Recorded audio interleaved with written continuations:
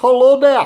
Welcome to the Silver Recliner Report. My name's Charlie. How you doing? Hello there, folks.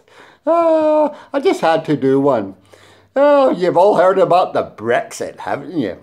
Well, if you haven't, your head's stuck in the bloody sand, I'll tell you. All those conspiracy theories, we all know about it. and do you notice all this stuff? Yeah, I'm still stacking. I've been stacking and stacking and stacking. Even though I'm not doing a bloody uh, video, I'm still stacking because I know the shit's down the road. And my view on the Brexit, that's why I'm stacking. And here's my view, folks.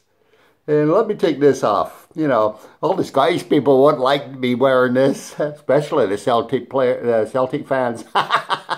if you never mind, we ain't, go, we ain't going there. uh, anyway, Brexit. Oh, jeez. Did you ever think? Everybody said, "Oh, the British, they're they're leaving, they're leaving." Yeah, right, all right. oh, the elites all upset because they're leaving. Yeah. Have you ever thought that's the plan of the elite? they wanted it to happen. Yes, because when the British leave, everybody else in Europe will start thinking about leaving and it all breaks up. And what happens? There's a big collapse. Just like it's foretold. There's going to be a collapse, folks. And this is one way of doing it. And yes, when everybody, when everything collapses, there's going to be arguing and fighting and everything else, and they're going to blame the British for starting it. Not the elites, the British. and guess what's going to happen? There's going to be a lot of turmoil. And guess who takes over through all the turmoil?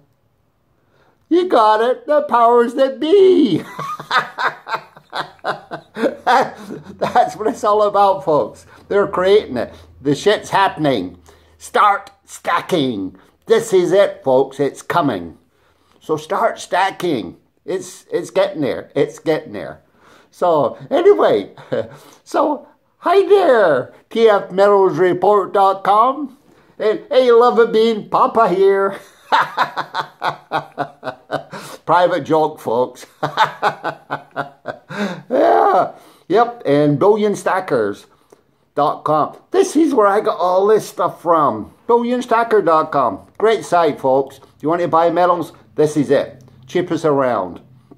And, uh, you know, just get out there and start stacking, folks. It's, it's coming. It is coming. And the Brexit's just the beginning. The, that's all the turmoil. And, um, and there's a lot of life, you know, it's hiding a lot of stuff which is happening in the wings. Um, have you noticed after the Brexit how they were capping gold and silver? 1300 capped, 18 capped. Yeah, next week, watch out, folks. It's going up. I love doing this. Yeah, it's going up. but anyway, it's good to be back again. Nice seeing you folks. And I've been really busy with my new business and uh, so I haven't had a lot of time. So today I'm relaxing. Uh, I've no lawnmower, so I can't do any yard work because it broke. And so, well, well, let's do a video. anyway, uh, I hope I find everybody happy and well. And just remember, folks, Brexit. Take it with a grain of salt. The powers that be are in charge. Trust me. And they are making things happen. They're going to, you know, they're going to crash everything. You know, even the currency. Folks, money. this is all money. anyway, get out there, keep stacking. Uh, food also. Get your food. Okay? So, anyway, nice talking with you guys. A little short one here, so, and uh, I got to get back and, uh, you know, get back to work and everything else. So I got run out the door, and uh, I thought I'd do this little one because of the Brexit.